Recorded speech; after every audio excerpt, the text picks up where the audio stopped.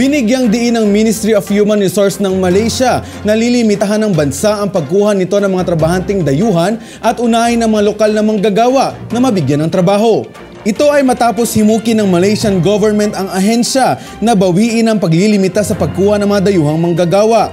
Nilinaw naman ni Human Resource Minister Dato Siri Saravanan na dapat na isaalang-alang ang mga lokal na manggagawa bago ibigay sa mga dayuhan ang pagkakataon sa iba't ibang sektor ng trabaho. Matatandaan na inanunsyo ng ahensya na maaari lamang na makapag-apply ng trabaho ang mga dayuhang manggagawa sa sektor ng konstruksyon, plantasyon at agrikultura.